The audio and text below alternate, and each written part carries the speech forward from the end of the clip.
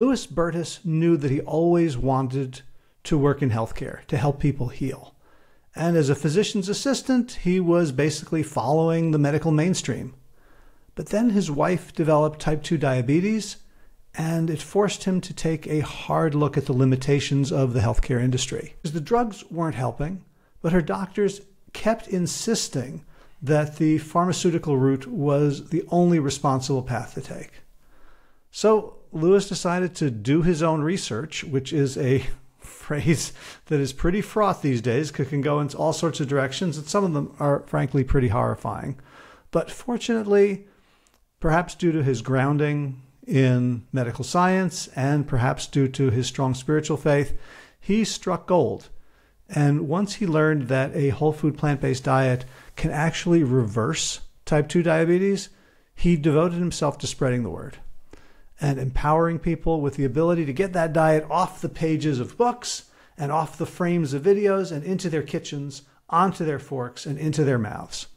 So, in our conversation, we talk about Lewis's work as a health coach specializing in diabetes reversal.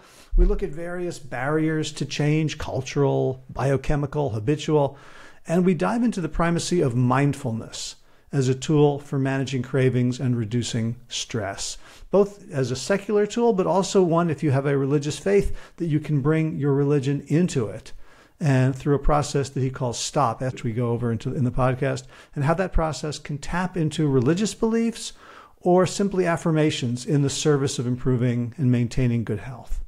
And we also talk about the challenges of addressing health disparities in historically marginalized communities and the urgent need for diversity in healthcare. That is, healthcare providers who look like their patients and who have credibility talking about their lives. Hope you enjoy. So, without further ado, Lewis Bertus, welcome to the Plant Yourself podcast. Thanks for having me. Yeah, we got we got to talk about a bunch of stuff, but start. Uh, I'd love for you to start just introducing yourself. Sure, sure. So, okay, so my name is Lewis Bertus. I'm a physician assistant and diabetes reversal health coach, and I've uh, been been a PA for about going on six years, a health coach for two, and yeah, just um, always been excited about teaching people about health um, and reversing chronic conditions. You know. Uh huh. Mm. So, uh, sorry. Bless you. Yeah, yeah, get it out. Get it out. yeah. Well, yeah, we're gonna end up having a consultation. I've been sick for like two weeks. oh no. I'm still I still cough in my sleep and. Uh, Man, this stuff. It's yeah. I would say it's probably that change of weather. I know in North Carolina here, man, it's it's brutal. yeah, yeah.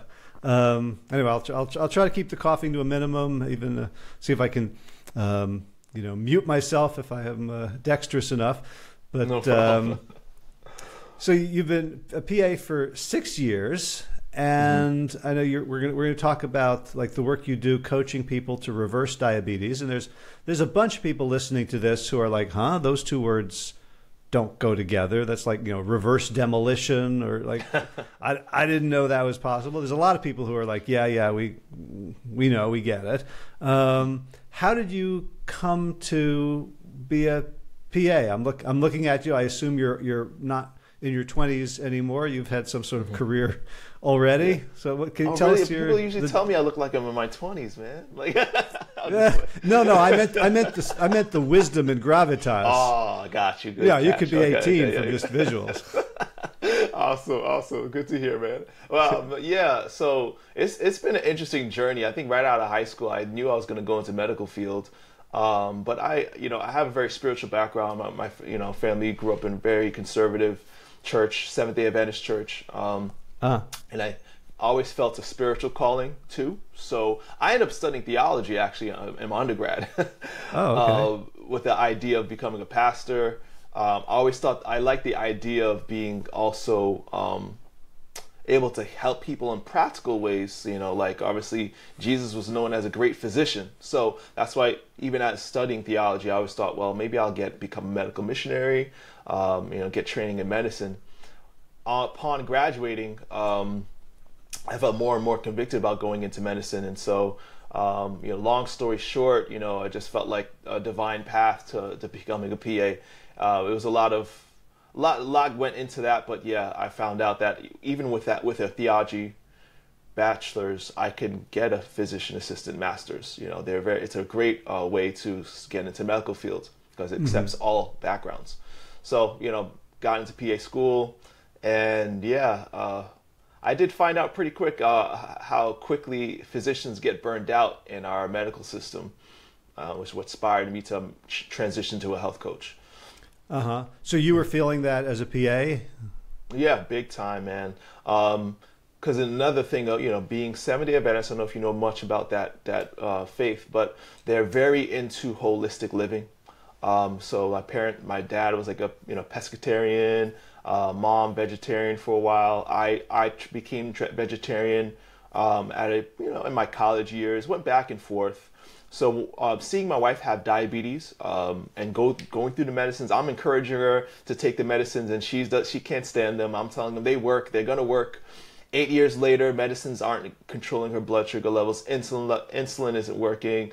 Uh, her diabetes is getting worse. Her symptoms are getting worse, and I'm like, well, if medicine's not doing it, there has to be a natural way, you know. Um, so it was interesting because I saw the same thing happening in my patients, you know, with not just diabetes, you know, but many chronic illnesses. They only get worse with time, and medicines seem like a band aid.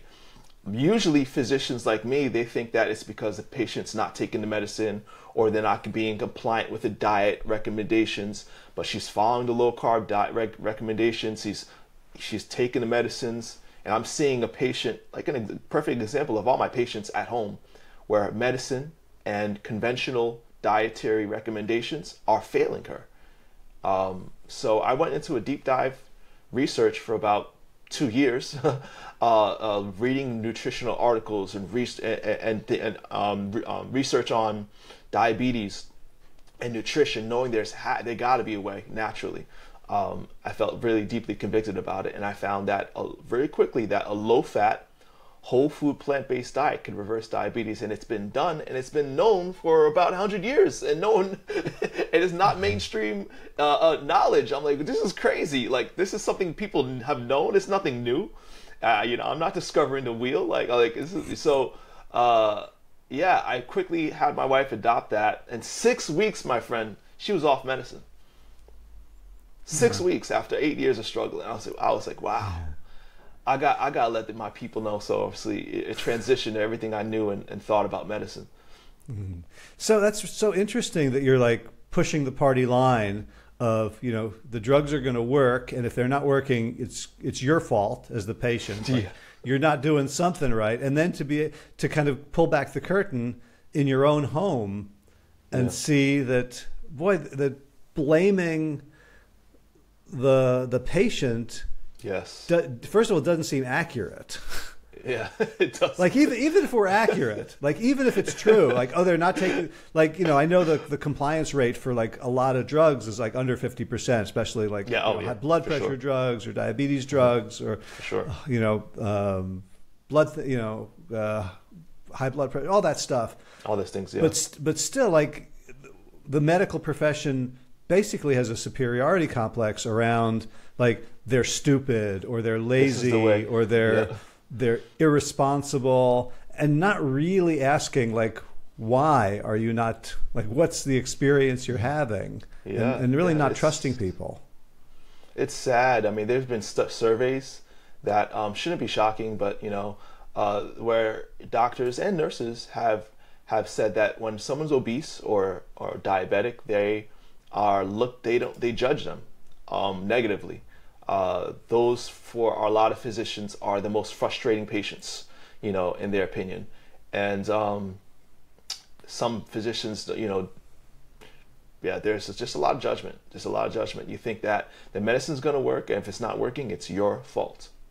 Yeah. But in their defense, right, I did not know anything. I wasn't taught about nutrition in school. You know, uh, we didn't have much nutrition courses in, in my program. So all we are taught for all our years, obviously, if you're a PA for the two or three years of your master's program, or a doctor for your six, seven years of education, all you're taught is medicine. So um, it kind of makes sense that they think that way. Unfortunately, I don't give them too much rope because the the research is out there. It, it, it, it does just a quick Google search, and you could find a lot of information on lifestyle and disease prevention and reversal. Yeah. You know. Yeah. So, look, can you talk about your wife's experience over over those uh, few weeks? Oh yeah, sure. So she was actually coming off a keto diet. so okay. Uh, and it was interesting because it's a last. It was like the last draw. Like we were vegetarian, vegan, I should say, and the only thing that was controlling her medicine was low, low, extra low carb. You know, going down to uh, uh, 20 to 40 carbs a day, and the rest of her nutrients coming from meat, dairy, eggs, cheese. So she was finally keeping her blood sugars under control. Um, we knew that it's not, this is not going to be sustainable because with the blood sugars dropping, the liver, the liver uh, inflammation, signs of liver inflammation started showing up in the lab work. You know, um, her cholesterol levels started to, to rise. We knew that you know keto or, or, or low carb diets they may control your blood sugar, but it comes at a sacrifice long term.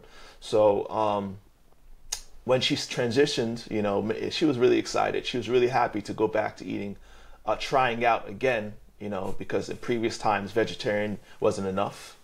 Um, because a lot of people think, well, I'm a vegetarian. Why is my blood sugar? Uh, why am I, you know, my blood pressure high? Why is my blood sugar high? And a lot of times it's the fat percentage. So that's what we focused on during those six weeks, um, measuring her fat intake with while being plant based and eliminating processed foods um, and keeping it at 10 to 15 percent was the ideal uh, percentage from my research. So, yeah, she was. It was not hard for her, you know, as I'm sure it's been hard for a lot of my clients who have been have never been vegetarian. Mm. It wasn't hard for her. She made the switch like that.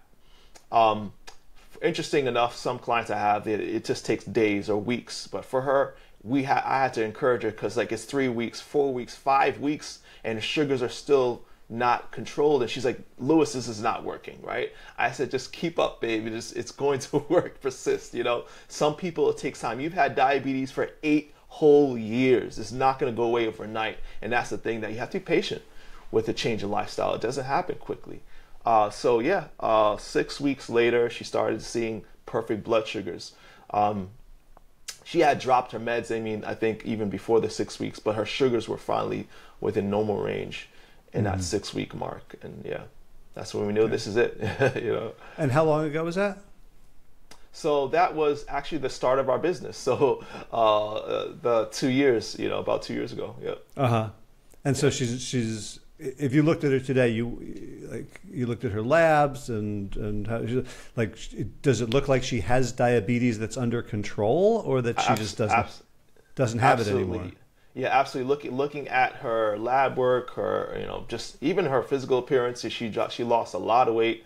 Um, that's another big part of it is you know getting exercise regularly, um, getting that energy back. Um, she was able to go into the gym regularly. Uh, her, her her transformation physically and biologically, you know, has been you know a 180 really. Yeah. Gotcha. So, so in some ways, um, it's it's easy it's easier to work with, you know, your life partner, but in some ways, it's harder. Like, oh, yeah. you know, it's harder to coach your your family. You know, you've got skin in the game. They they wonder like, what are your motives here, or who are you know who are you to tell me, or you know, like how how did you discover that you wanted to do coaching as opposed to um, medical the medical mm-hmm. model you've been trained in. Yeah, it's interesting you say that because yeah, um, my wife doesn't listen to me. she,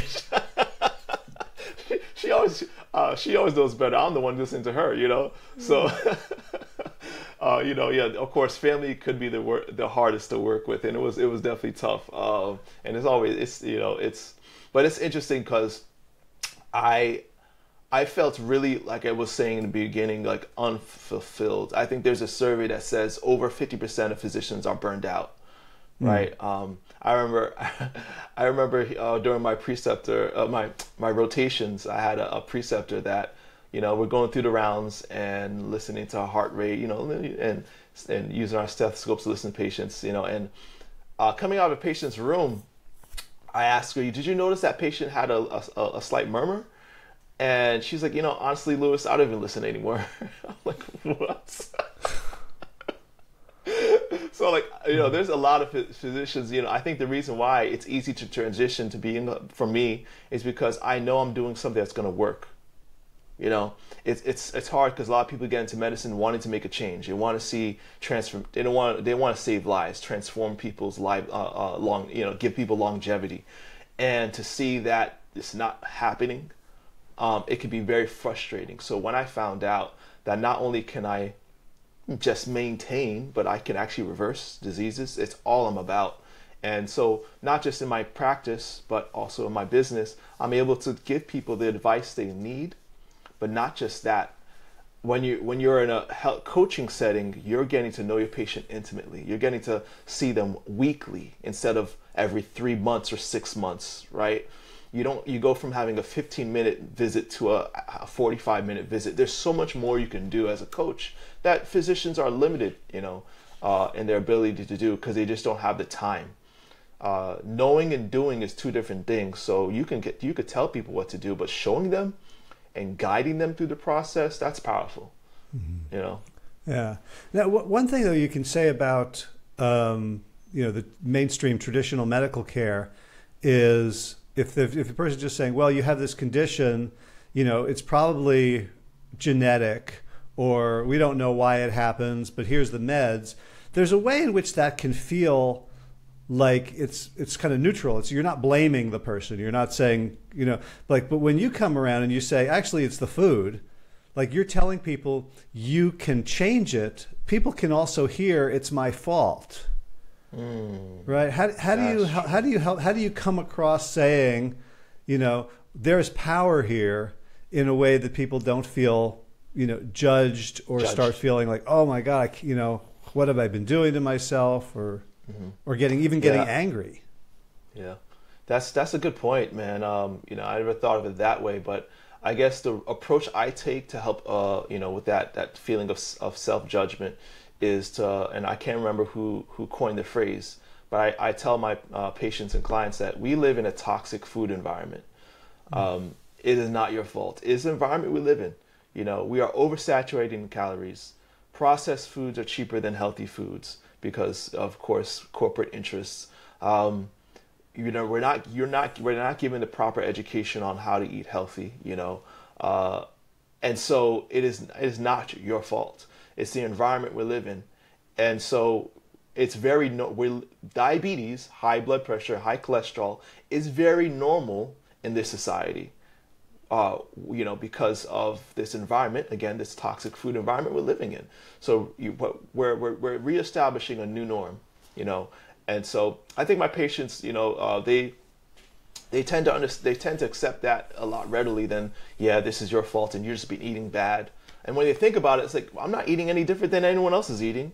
Um, and it's unfortunate, yeah, genetics does uh, load the gun, as they say, but lifestyle pulls the trigger. And some people's genetics, you know, they're not as uh, friendly towards this this normal way of living uh, in our in our society today. Um, so you know, when people get that, I think it's easier for them to not feel so bad about themselves, mm-hmm. not feel so judged. You know, when they realize, okay, wow, this is something that happens to many people, and I'm not any different than anyone else. Yeah.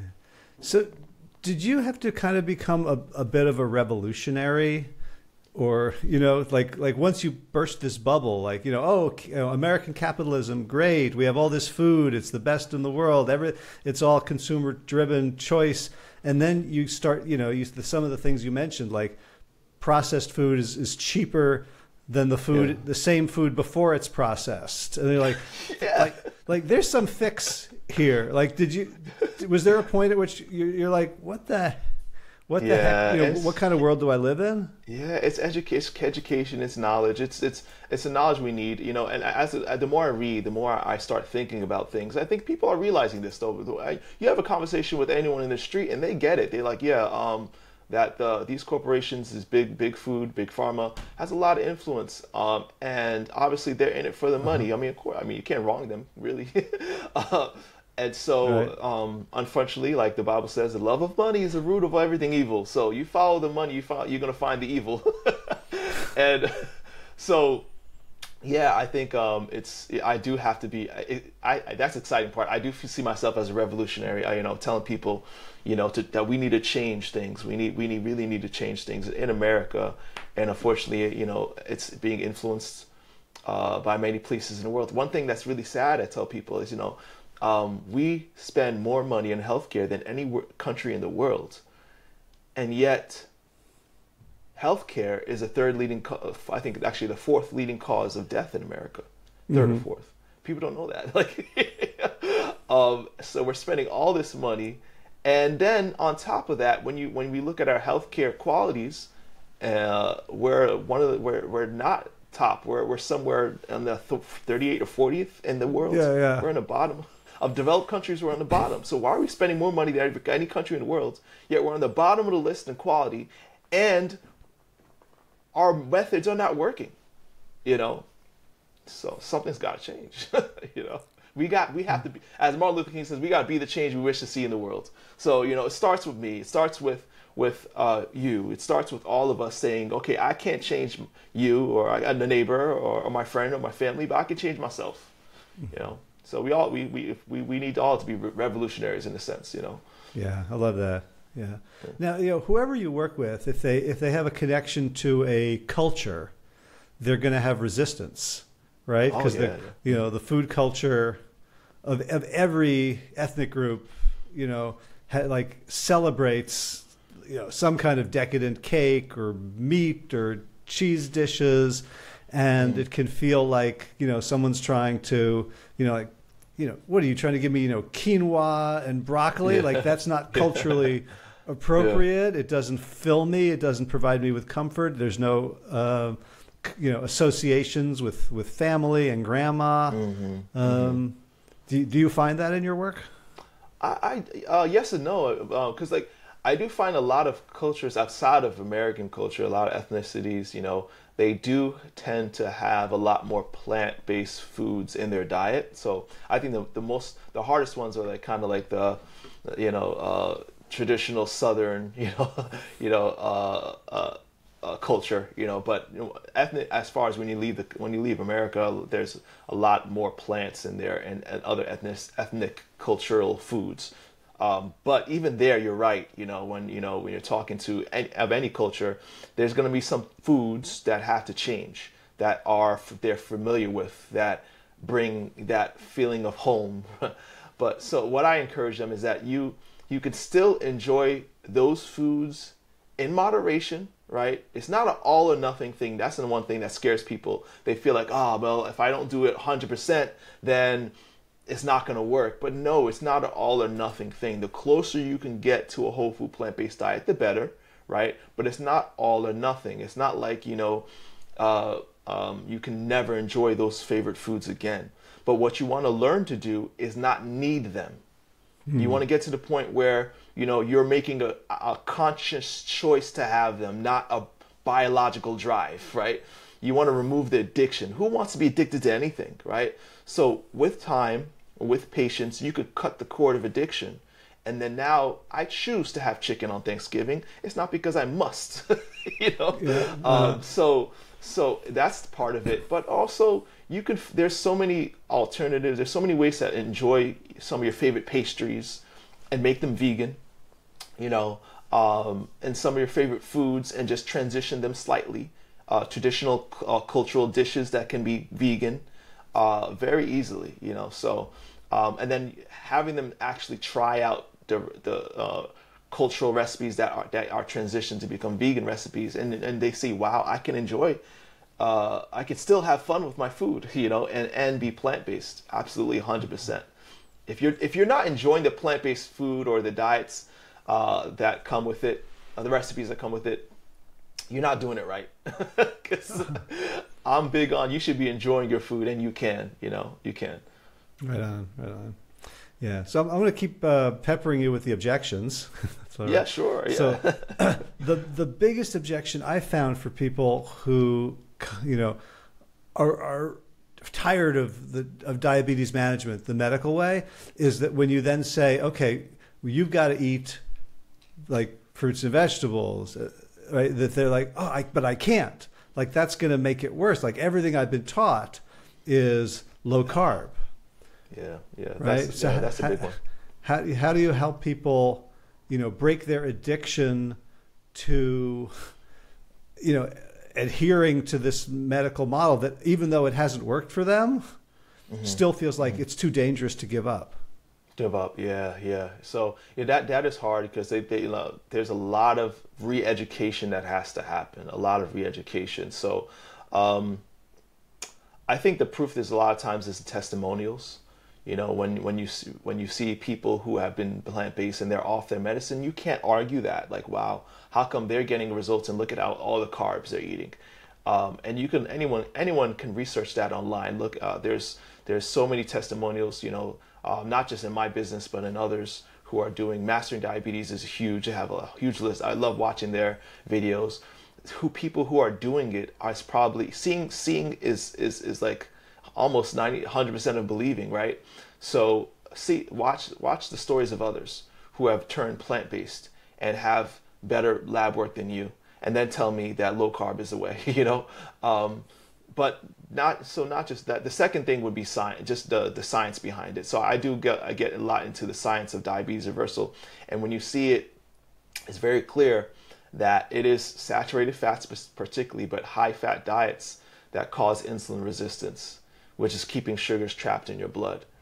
Once once you drop that fat percentage you could increase your tolerance for carbs you'll see that diabetics can eat more carbs than they ever had and have normal blood sugar levels. And there is a science behind it. And um, so it's, it's, it's, it's a fat, you know. What happens when someone takes insulin?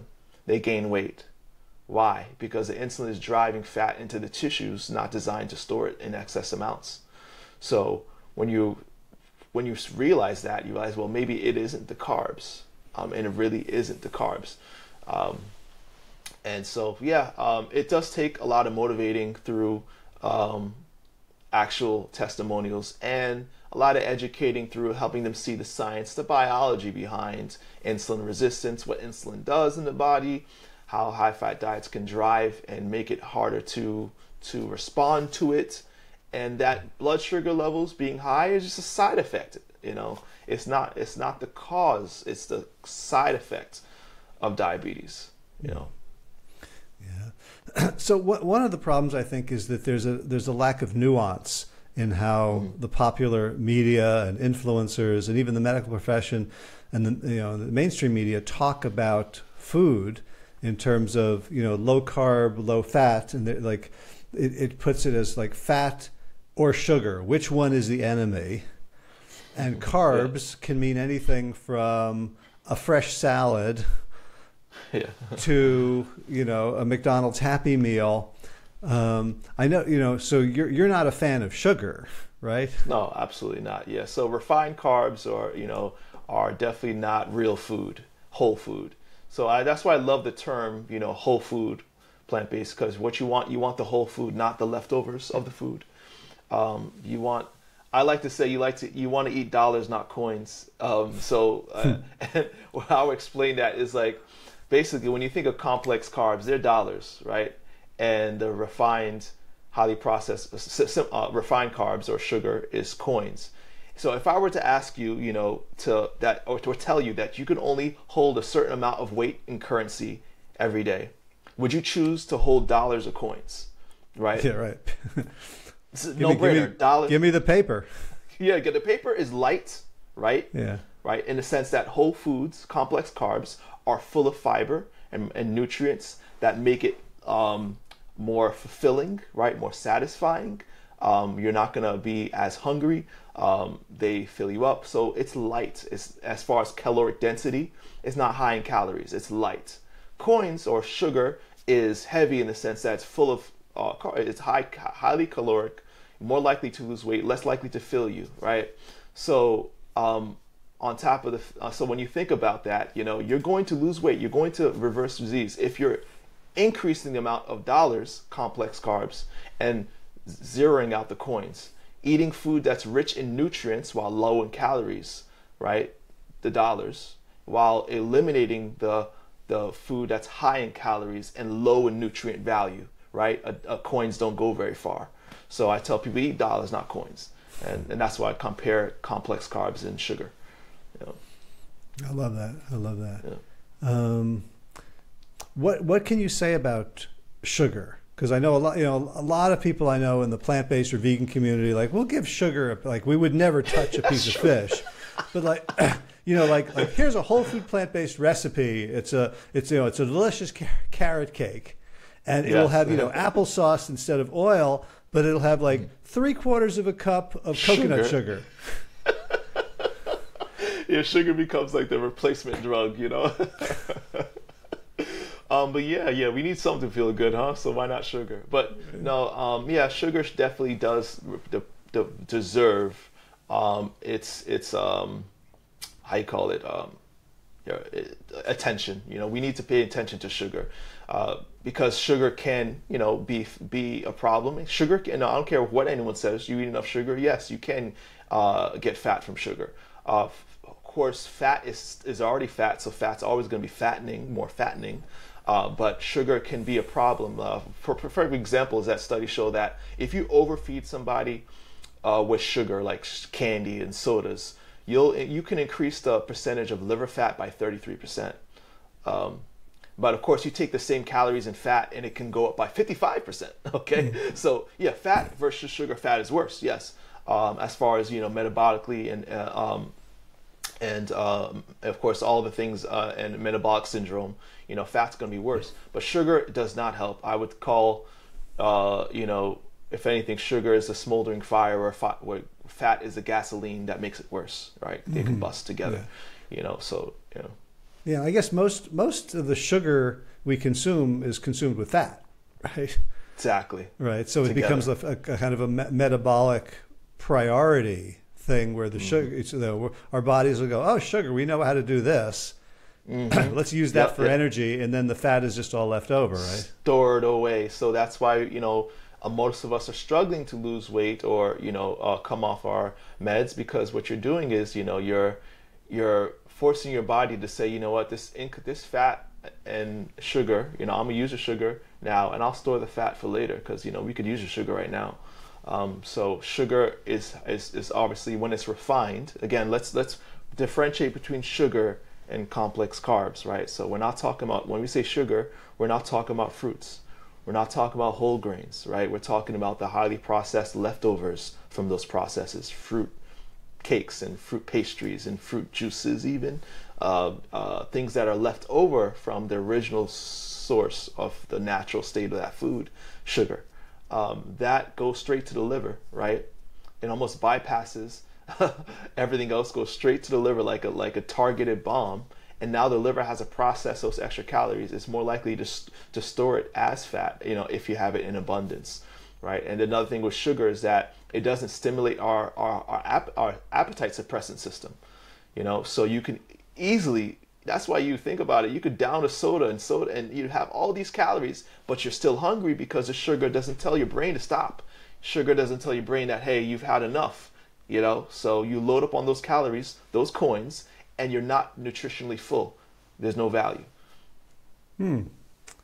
Gosh. And is that is that true of sugar in solid form as well? Because I know our Yeah. body d- d- doesn't really register beverages as But calories. solid because form as well. Yeah, solid really, form as wow, well. I, yeah. I hadn't Yeah. heard that. It doesn't cool. stimulate the appetite suppressant. Yep. Mhm. Yeah. Uh, so so we've got um, clarity about what people should and shouldn't be eating, and yet when people are under stress, it's really hard to not go for those addictions, to not go for those comforts. What, how, how do you help people deal with that? That that's the that's a big one. You know, I mean, when we're stressed, we want to go to the things that make us feel good. You know, we want that dopamine release that makes us feel good from eating sugar or fatty foods. Fatty foods. Um, I think, of course, it does take time. Um, again, it's an addiction you're dealing with, so it's not going to go there. Those cravings uh, and that go-to feeling, um, feeling like you have to go to that go-to, is not going to go away overnight. But it takes time and patience. So, uh, what I what I try to do um, is teach people about mindfulness, um, and mindfulness meditation is huge. Just the, the practice of not allowing stress to drive you to action. Too many times you go from thinking to doing or we're ruminating on the past, which causes stress, or we're worrying about the future, which causes stress. To eliminate that stress or minimize the stress, because you're not going to eliminate stress, but to minimize stress, we need to all practice moments of mindfulness. So, um, and it's it's very simple, just being in the present moment, right? Learning to calm our minds and just know the art of being still, right? It's powerful what can happen or what cannot happen when you just pause for a moment, not making a decision, not making not not allowing your thoughts to dwell on judging judging yourself or others or the situation, and just be be still, be present in the moment, right? Recognize what you're feeling in your body, in your mind. How how are these emotions showing up? Live in it. Don't act on it. Just live in it. Embrace it. Don't fight it. And, and embrace and encourage, encourage people to embrace their emotions, right? Um, and very, it's it's a, it's powerful. It's it's amazing how quickly pe- those cravings lose their power. They go away, right? Mm. Not to say they're not going to return another day, but you can you can. It's one battle at a time, and you can learn a lot if you learn to practice the art of mindfulness meditation. How, how do you teach people to engage in mindfulness meditation? Yeah. So um, it's it's basically uh, a principle that I learned from I can't remember the author. Uh, it'll come to my mind maybe, but uh, it's I call I, I, call it STOP. So STOP is an acronym that helps you kind of practice mindfulness at any moment. So S is S and STOP is obviously stop what you're doing. Just whatever you when you're feeling overwhelmed or stressed, just stop. Right, take that moment to take a break. Right. The T in STOP is take a break. Right. So take a break or, and, and, and take a, sorry, take a break and take a breath. Sorry, take a breath uh, specifically and you just you know when you're when you're practicing mindfulness you're you're kind of centering your mind on your breathing starting with your breathing because it kind of centers you on what's going on in your body at the very present moment. So taking a deep breath in through your nose and out through your mouth. And just feel that that, that oxygenation of your lungs right? Um, the a acknowledge. Acknowledge that this is a moment where you need to be mindful. This is a moment that you're feeling overwhelmed. This is a moment where you need to be um, aware of uh, what is going on in your body. So acknowledge and awareness is the A. Uh, um, sorry, um, I said A. yeah, I was I was I'm, gonna. I'm mixing I'm mixing up uh, uh, acronyms. So I, th- I think I think you just jumped into rain, right? right. Yeah, rain. Yeah, I'm mixing stop and rain. Sorry. okay. so you know the book. All right. So yeah. So going from take a breath. I apologize. O, o is uh I'm going from stop to rain. Yeah. Rain is another is another way of, of explaining this. But oh, okay. So we're, we're on so we're on stop, not a. Oh, not rain. So o is observation. Very similar to the a actually. It's almost the same. So o is when you're observing. You're going to observation mode, right? And um, so you're obser- you're observing what's going on in your body. You're trying to um, feel what the feeling is, right? Um, is it tight? Sometimes for me, I get tightness in my chest, so I allow myself to observe that. What is that tightness, you know, feeling? Um, the butterflies in my stomach, I observe it. I just sit down, I sit there and I observe what is going on. Anytime my mind's distracted, I go back to taking a breath. Right? Every time I feel my mind wandering, I take a breath and I go back to observing again what is where is the stress, where is the emotions going on in my body? How is it showing up in my body? Right? And uh, P, the P is, is, is basically proceed. Um, and proceed, I like to actually I, tra- I, I, I add a little twist to it and say proceed with promise. Mm. Um, I think everyone should have a mantra, a go-to saying, right? Uh, for me, it's uh, He makes all things beautiful in His time. When I when I claim that promise, right, that I believe so strongly in, it empowers me to replace that negative motion, that negative energy, with something positive, right? So proceed with promise. So S, stop, right? T, take a breath. O, observe what's going on in your body. Of course, acknowledge uh, that you. And P, proceed with promise. Take a mantra. Some people, um, it, for everyone, is different. You know, one, one of my my last recent client said it, for his, it's right thing right now. You know, proceed with a promise. Hmm. And that's that's what mindfulness meditation. You could do that literally in five, in ten seconds, thirty seconds. You could do it very fast. So yeah. any moment of the day can call for a mindfulness moment. Yeah. So do you have people sit and practice, like put it in their calendar or, or be because I find like the the irony is the moments that call for mindfulness are the moments that I'm least likely to remember that there's such a thing Oh, as mindfulness meditation. Mindfulness. Trust me, mindfulness is a school you never graduate from. Okay, like you, you you never get to the point where yes, I am a mindfulness master. You have to constantly remind yourself, right? And you might find yourself, man, I, I should I, this morning was the perfect moment to practice it, and I didn't. So I mean, I'm I think you know it might be great for people who want to actually dedicate a moment in their day, usually early morning before they start the day, to meditation and practice mindfulness.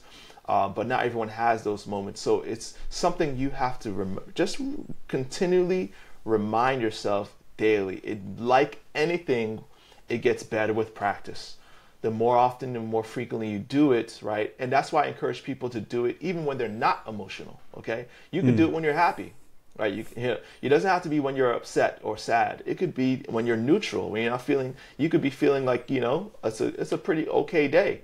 And say, you know what, let me just practice mindfulness at this moment, right? You could do it while you're driving. You could do it while you're exercising. You could do it while you're walking. You could do it at any moment of the day. And the more frequently you're doing it, the more likely you're going to turn to it in mm-hmm. moments of stress because it's going to be automatic.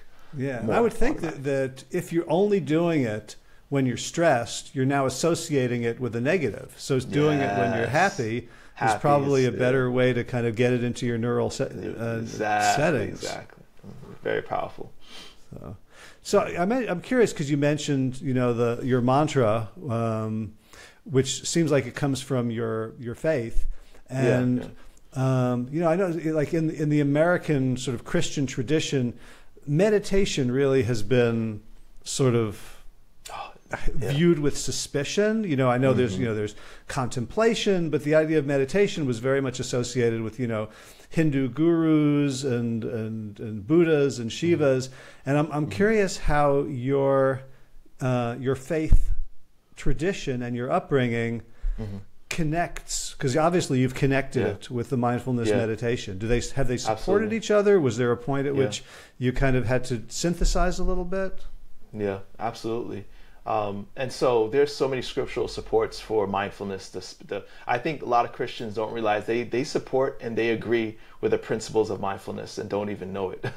um, it doesn't matter your religion, what creed, whatever you belong to, whatever you believe in. Uh, mindfulness is something that you can you can practice. Uh, the verse that I, I the, my go-to verse is is the Bible's verse. The Bible says, "Be still, be still, and know that I am God." Be still, right? Um, and it's such a powerful phrase, you know, because our, that's what mindfulness is. It's it's stilling the mind from the ruminating thoughts that are re- literally destroying us, and re- and reminding us that there is a power greater than ourselves, right? That things are going to be okay. Um, that you survive this, you survive worse, you know, um, um, and so it's something that's there's so many scriptural supports to. You know, I always like to tell the story of Elijah, who who was running for his life and ended up in a cave, uh, wanting to kill himself. He wanted to die, and um, you know he he heard the story goes that he heard the voice of God. It basically was telling he was telling him that he was going to show up. He was going to show up and show himself to Elijah. Can you imagine? You know the you know this all, Almighty God's going to show Himself. Man, things going my problems are really going to be solved now. And uh, the story goes that there was a great earthquake, and Elijah looked for God. He was not in the earthquake. And there was a great fire, and there was a great wind, and God was not in the earthquake. He was not in the fire. He was not in the wind. But the Bible says then there was a still small voice. And that's where Elijah recognized the presence of God. So a lot of times we think it's a revelation, it's something powerful, but God shows up in the small moments. It's in the quiet, it's in the quiet moments of our life that we receive power. Um, and that's what mindfulness is giving us. It's telling, getting us to still our minds, still the world for a moment. Be still. And that's what mindfulness is. It's very Christian, if anything. Okay.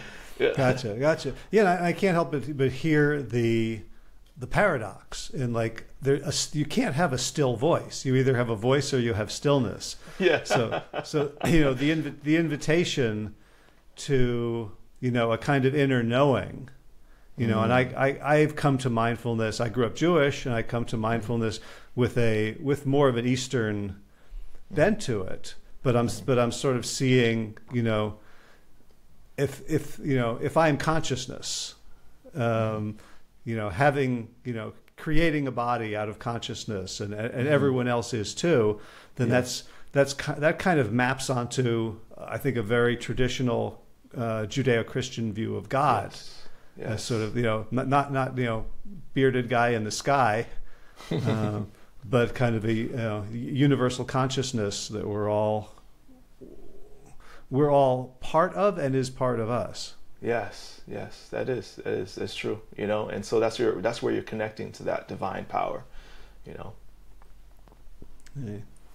Um, so what, I don't know, one one of the other things that we had talked about talking about that I'm, I'm very curious about um, is um, your experience with healthcare in terms of diversity and racism.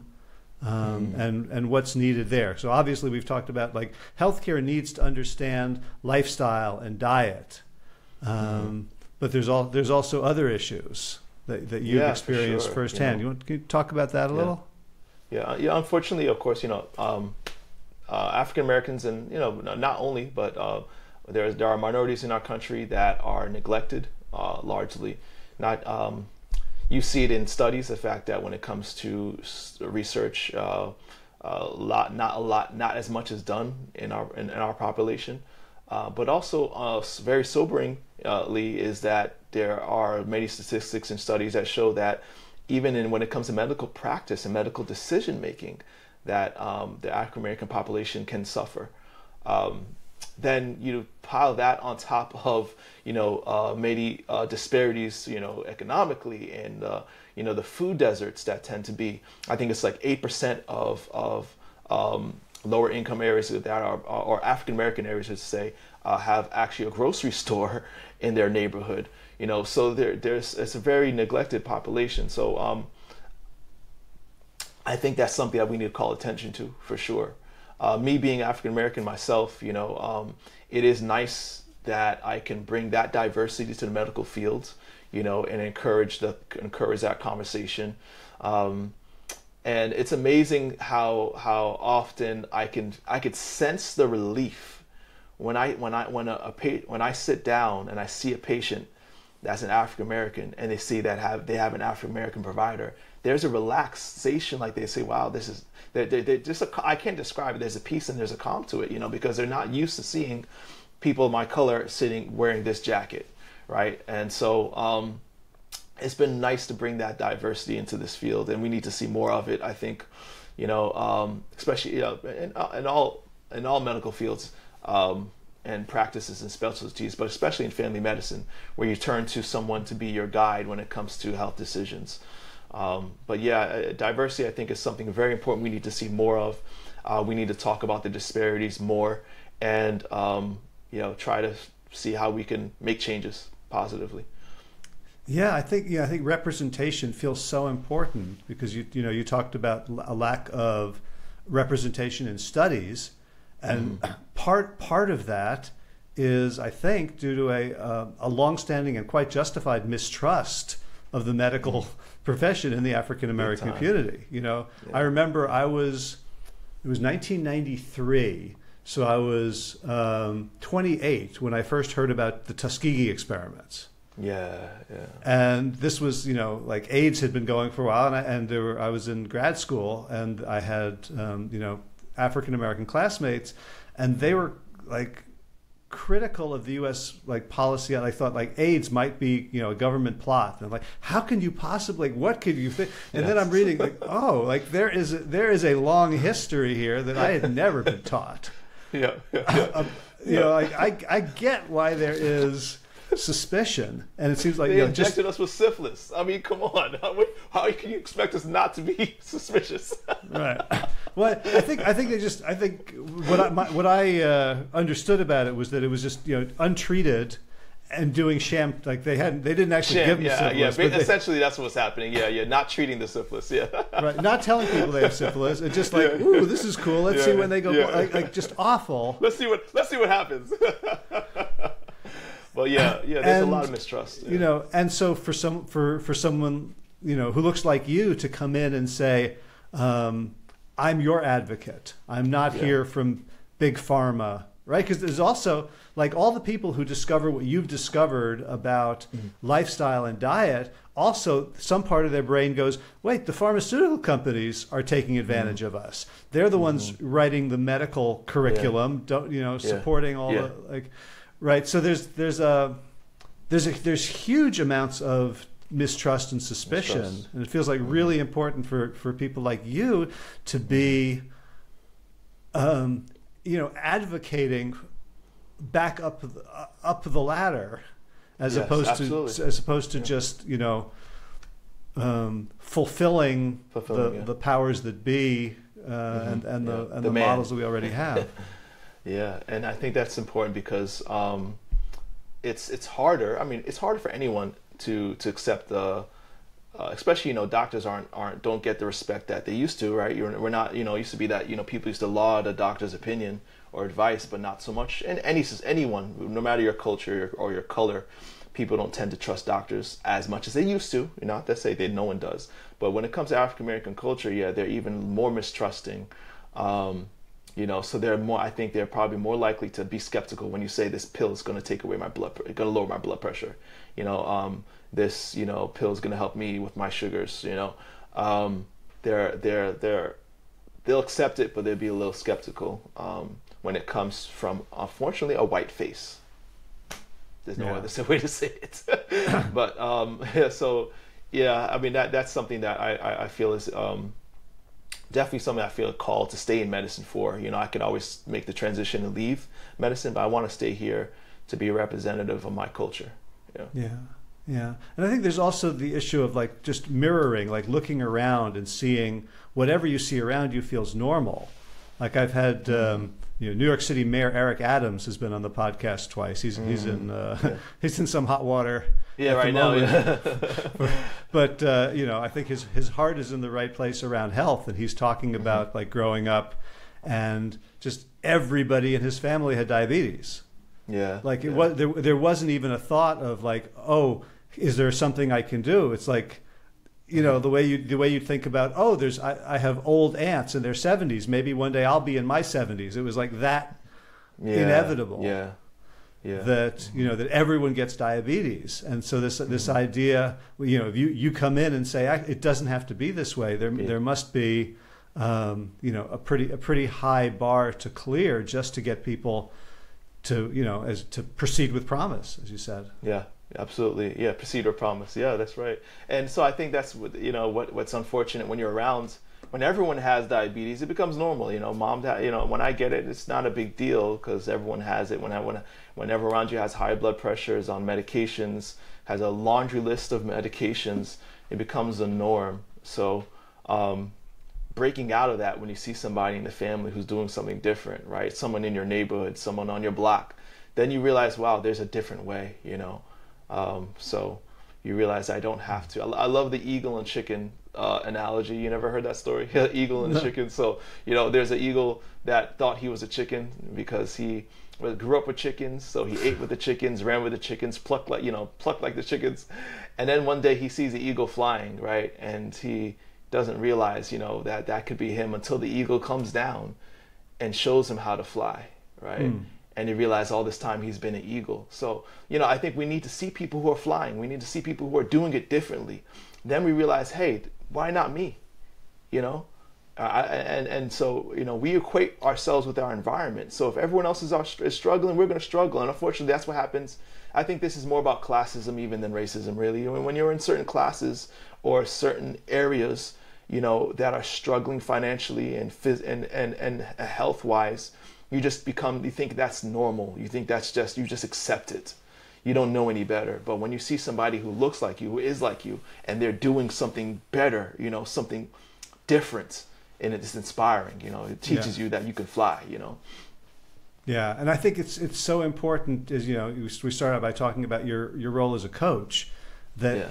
that all of us who, whether whether we're a va or a coach or whatever all of us who are living into this you know healthy new reality adopt a kind of a coaching mindset so that because it's easy to look at someone who's doing something right and go, oh, that jerk. Yeah. you know, like oh, or you know, to like oh, they're so judgmental. They're always telling me what to do, or oh, what a mm-hmm. goody goody, as mm-hmm. opposed to like how do we, you know, embody and, and model this healthy way of being in a way that invites, right? How do you be the second eagle yeah. that doesn't make the first eagle go, get out of here? You know, Yeah. like, yeah, don't you're give me ideas. off. yeah, all right. yeah. So you know, I think that's that's the power of being a coach because you become more, um, you become friends, right? And someone's more likely to take the advice of a friend, I think, even than even a professional. at- You know, at times, at times. but you know, when when when they see you, kind of come down to their level. You know, when you when you're a coach versus putting on the white jacket, right? Um, as a coach, you your your coaching is about coming alongside with you and walking with you, and not just leading you, right? So a coach is going to say, "Hey, yeah, I know, I've been there. You know, I, I've been through that. I know, I know that struggle, right?"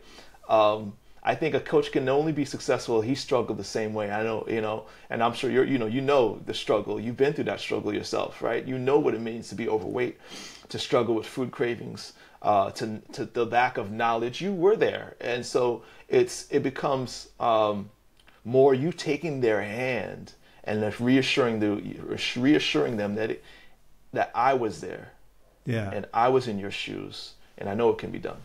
Yeah, yeah, and I think it's I- I've I've come to think it's more general than like I can coach people on things that I have not struggled with, mm-hmm. as long as I come across as a as a vulnerable human being, Yes. right? So it's not necessarily that oh I have to have weighed 420 pounds, mm-hmm, mm-hmm. but like yeah I, I have I have been overweight, I have been addicted to junk food, but I can mm-hmm. also coach someone on something else by saying yeah this is like life is hard, like this is Yeah. this is not this this this incarnation is not for sissies. Yes. Like yeah, I get like I'm not judging you. I get it. You know that your body and your mind has reasons for all the things you're doing that it doesn't that you think you shouldn't be doing. Like they're yep. Yep. it's trying to protect you it's trying to keep you safe it's trying like if you, you're talking about like the meditation like stop and feel this oh, these butterflies like i would rather eat chocolate than feel butterflies Yeah. right i don't need Yeah. Right. i got enough need problems i don't need butterflies too right. Yeah, it's scary. It's scary to yeah people people having to pause and feel what they're feeling. It can be scary, you know. Uh, but yeah, you're right. Um, I think that whenever you're you're you're thinking about the the fact that you're human, it qualifies you. I'm qualified to talk about this. Why? Because I'm human. Because you know, uh, I struggle. We all struggle, and we're you know being able to walk this path together. You know, um, as the saying goes, you know, you want to go uh, uh, far. You know, so if you want to go um, fast, go alone. If you want to go far, go with someone else. You know, Mhm, Yeah. I love that. It's, it's it's so much easier when you're someone. yeah yeah hey how can people find you who who should reach out to you how how, how if someone's listening and they're like i'm not sure if uh, lewis can help me Yeah, Who- yeah. How, how do people think about that, and how do they get in touch with you? Sure. So, um, diabetics, of course, um, whether you're type 1 or type 2, and you're looking to lower uh, your medications or come off them completely, uh, then yeah, I, I would be the person that can help you do that. Uh, but also anyone who is, you know, struggling with transitioning to a whole food plant-based diet for weight loss uh, or coming off blood pressure medications, cholesterol medications. Um, I have worked with people who have who are on the verge of dialysis, kidney failure. What I love about this lifestyle, it, it cures. It, it basically it can reverse or, or prevent 95% of chronic illnesses. So if you're looking to come off medicines, yeah, I, I'm I'm the one. But diabetes is what I specialize specifically in. Yeah. Okay. And do you work with people in person or online? Good question. All online. So uh, I have a virtual platform, and we meet once a week uh, for three months, and with a possibility to extend if people need to. But a minimum of three months that we work uh, together online. Gotcha. And how do people find you? All right, so um, you can find me on my through my website, Lewis. It's easy, lewisbertus.com. All right, Uh, you better spell that because it's Yeah, Not that's probably- There's, yeah. there's a lot of Lewis's out there. That's- and that's Bert- true, that's Bertus true. is not the most So- common name. That Bert is not the common name. So Lewis spelled like the English, L E W I S. Last name is Bertus, B E R T U S. B E R T U S. Lewis Bertus. And you could also find me on Facebook, Instagram, TikTok. I'm on most of the platforms. Um, if anyone wants to reach out by email, it's simple to lewis at lewisbertus.com. Lewis at Awesome. lewisbertus.com. That's it. Awesome. Yeah. So I'll, I'll drop this in the show notes as well. So if people want to want to click the link, they can find you there. All right, Um, awesome. Lewis, thank you so much for taking the time. This has been a really fun conversation. I, I find my Yes. I find my like jaws hurting a little bit because I feel like I've been smiling a lot. So Oh yeah, yeah, that's good. That's good. like uh, you you you, um, you transmitted some some great spirit to me. I appreciate that. I appreciate that, man. So, um, I just thank you for the opportunity uh, to talk with you. I don't know if we le- if I left you the link for the free recipes. I don't know if I gave you that for people who want Oh, no, free can- recipes. uh, um, I can. Should I give it to you in the chat here? So well, I know on your on your website there's a um, there's an offer for, for, for yeah, like there should be off. Yeah, yeah. I have a lot of 280 free recipes. Yeah, yeah, that's yeah. On my Facebook page specifically, if anyone wants free recipes, they can join. They can look at it on my Facebook page. Uh, so find me on there. The name of the business is Diabetes 180. Oh, right here. but um, yeah, my you could probably find me quick with my name, la first and last. Okay. But I, I, yep, they can get free recipes if they're interested in Great. and starting us- it off on their own. Te- tease us, tease us with uh, two or three of your favorite recipes, just what they're called. Oh yes, I I love um I love my chili bean soup. Oh man, that's uh, that's one of my go-tos, uh, especially in these cold times. Uh, so um, and then uh man, there's so many that I like. Um, so for me, one thing I, I always go to because I'm really pressed with time is my tofu salad. Oh my goodness, yeah, it's it's good. Okay, Yeah. is that cold? Yeah. Cold, yeah, I prefer cold, yeah. But you know, it's good, good and warm. If you, it's getting cold outside, so I might warm, up, you know, stir fry the tofu first, yeah. All right. So chili, chili beans. Uh, Yeah. Is it soup or stew? it's stew, yeah, stew, yeah. mm. All right. So and tofu Yeah. salad. Both they both sound Yeah. very comforting and uh, filling. Absolutely. All right, Lewis Bertus, thank you so much for taking the time. Thank you for all you do. It's been great Yes. getting to know you. All right, likewise, man. Yes, thank you so much. Okay, peace. Peace. And that's a wrap. Show notes at plantyourself.com slash 608. Good weekend. We had our um, Bravos Ultimate Tournament, the fundraising tournament for uh, for the whole club team, the Porro in uh, Castelldefels Beach, and people came from all over the world. It was a hat tournament, so your name got thrown into a hat, more or less. And uh, some people on my team were from Italy, Germany, Czech Republic, um, Egypt, uh, UK, France, um, and me from the US, and a couple from Spain. And it was a lot of fun, a lot of games, and we had uh, that uh, that DANA. That I'm not sure what it stands for. But it's a Spanish term for this uh, r- relentless rain that just keeps going and doesn't stop. And we've seen in Valencia uh, some of the the tragic consequences of that. We we had that here, not nearly um, to the same extent. It was not. Uh, I don't believe it was life threatening for anyone in the Barcelona area. But uh, today's Tuesday morning. I think there's still people who are trying to leave from Barcelona airport uh, on Sunday afternoon and are still here because the runways were flooded, flights delayed. And anyway, we were uh, out in the in the rain trying to play in that for a while, but then lightning forced us all indoors, and I, I, I felt kind of bad for the families who are out for a quiet off-season breakfast at a cafe on the beach, and all of a sudden to have you know 150 sweaty, dripping ultimate frisbee players with their gear all huddling and cramming in and talking very loudly. But uh, that's over. Um, got some good exercise that in in there. Um, they actually sprinted, so I feel like the sprint training that I'm doing with Jay on the beach is is paying off.